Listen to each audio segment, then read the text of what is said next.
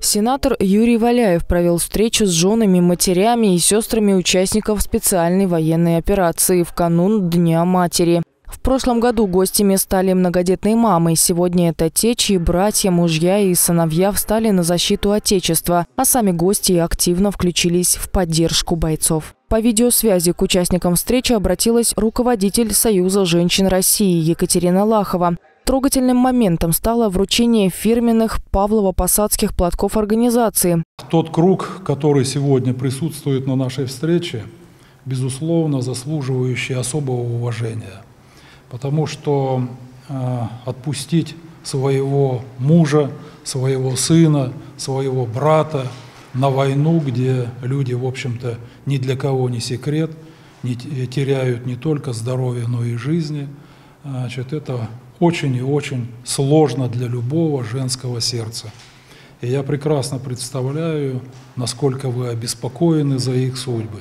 Приглашенные помогают не только солдатам, но и их семьям. Они являются координаторами мероприятий и акций в поддержку военнослужащих специальной операции. Плетут для них сети и браслеты выживания, готовят сухие супы, каши и армейский душ. А недавно начали подготавливать для них подарки к Новому году. У меня муж находится на СВО.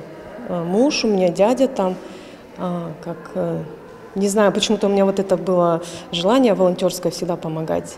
И получилось так, что я призвала с собой подружку, позвали женщин, то есть вот так вот. И кто-то захотел нас поддержать, а ну кто-то нет. Ну вот, нас, честно, нас немного таких. Пока, надеюсь. Дальше будет больше. Ходе беседы затронули федеральные и региональные меры поддержки военнослужащих. Сенатор представил участникам встречи удобный справочник, созданный в ЯО с информацией о получении льгот и выплат. Юридическое бюро э, с Приамурским государственным университетом разработали. И здесь такая четкая градация. Вот. И в сфере трудовых отношений, и здравоохранения, и пенсионное а, а, значит, э, обеспечение, и коммунальное хозяйство, и кредитование, и налогообложение. Все-все градировано.